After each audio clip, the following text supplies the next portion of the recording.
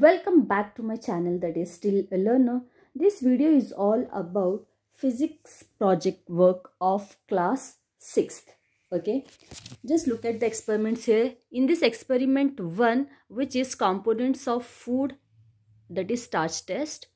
Next this is experiment 2 components of food protein test.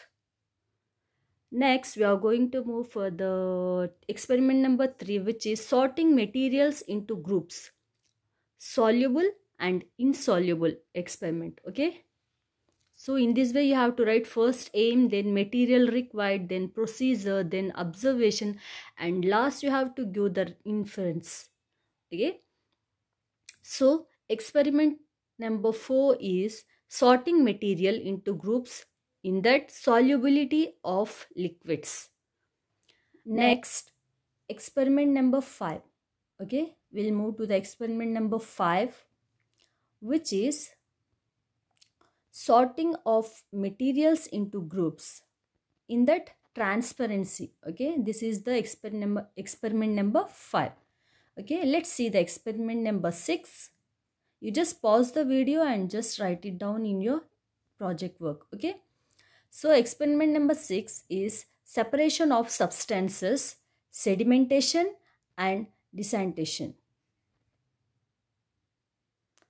Next, experiment number 7 is separation of substances in that filtration. Okay, this is very good means this is very amazing to do this uh, project work here.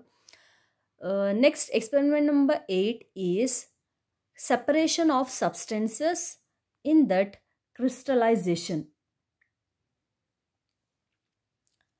Next we have experiment number 8. Okay. Sorry, experiment number 9 which is getting to know plants. Stem water transportation. Okay. Just try to do this at home by yourself only it will be amazing to find the results. Okay next experiment number 10 is getting to know plants in that transpiration. Okay next experiment number 11 which is um, yes getting to know the plants in that starch test. Next experiment number 12 getting to know plants in that absorption of water by roots. Next experiment we have is that is experiment number 13 getting to know about plants in that arthering of roots. Okay. Next experiment number 14 is characteristics and habitats in that response to light.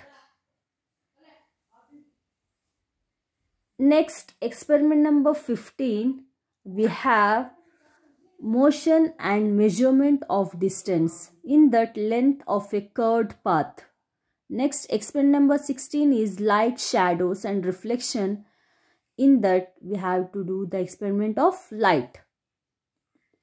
Next experiment we have that is experiment number 16, 17 electricity and circuits. In that we have to do the experiment of circuit. Next 18th experiment is electricity and circuit in that circuit with switch.